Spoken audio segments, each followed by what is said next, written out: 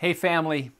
I just want to encourage you this coming election. Uh, how do we face this as believers and, and get encouraged to even go because it seems so crazy every year?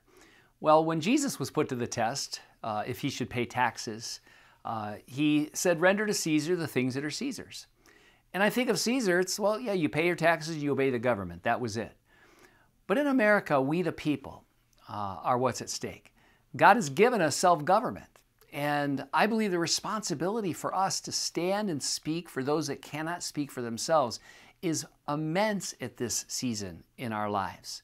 Especially when you think about what's at stake for children in the womb, what's at stake for children in school being indoctrinated and, and moved in a direction away from a biblical foundation to a pagan uh, foundation.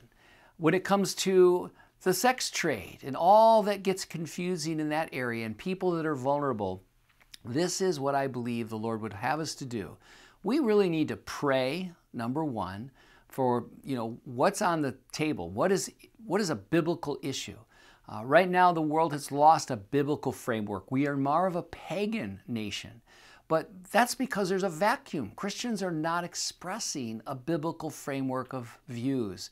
And this is our responsibility, we the people.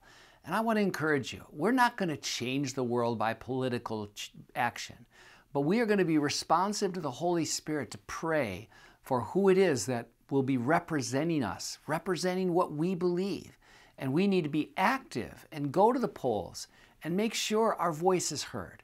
Uh, don't listen to all the voices that keep you away from the simplicity of just being there to be a voice to help those that cannot help themselves. So this year, Get out and vote, especially at this crucial time in our nation.